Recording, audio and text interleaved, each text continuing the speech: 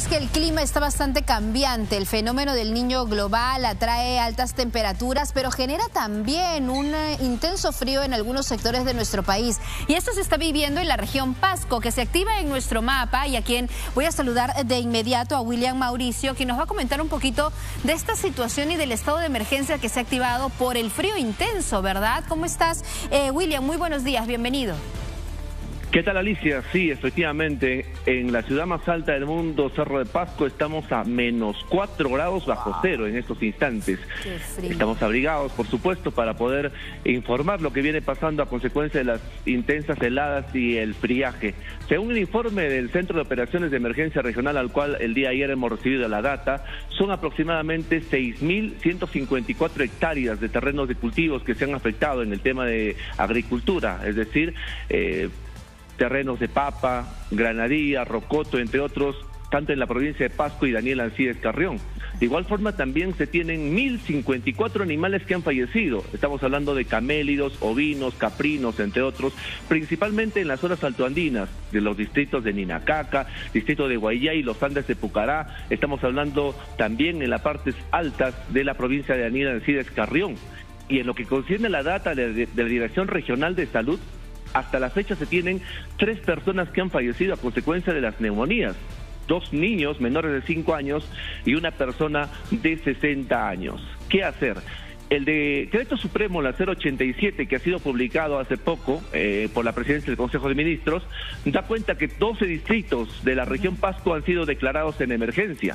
Los municipios tienen que coordinar con los diferentes ministerios con el Centro de Operaciones de Emergencia Regional, la DIRESA, INDECI, para tomar medidas urgentes. Es decir, 60 días calendarios le ha dado el gobierno a estos 12 distritos, tanto en Pasco, Daniel Carrión y Oxapampa, para que puedan tomar las medidas. Según el CENAMI, se ha indicado que la temperatura en estos días hasta el 31 de julio va a llegar hasta menos 10 grados bajo cero.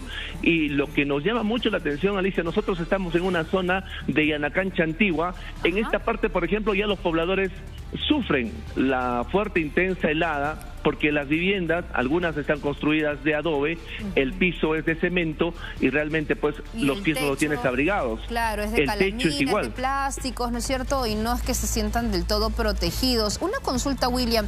Este frío, menos 4 es bastante, menos 10 en los próximos días, pobres, pero ¿es así de intenso en otros años? O sea, en esta época del año, ¿esas son las temperaturas usuales o eh, antes había más frío, ahora más frío? Esta es la temperatura, más o menos es pues entre los meses de mayo, junio, agosto hasta mm. septiembre es lo que va a continuar las heladas.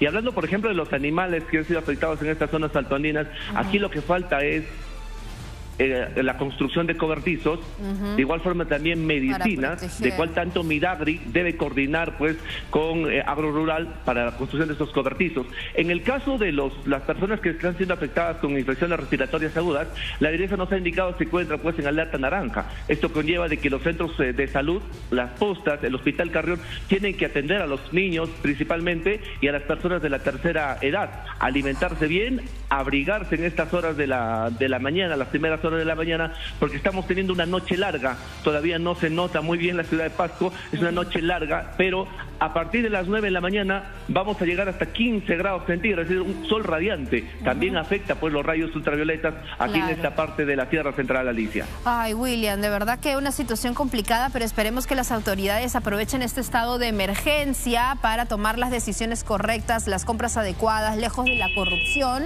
para proteger a las familias, comprar medicinas, hacer cobertizos para los animales también, pero sobre todo proteger a las personas que se están afectando por el intenso frío. Un abrazo grande, muy cálido para ti, eh, William, y para toda la población en Pajo que nos está sintonizando y que está pasando intenso frío. Muchísimas gracias por los detalles.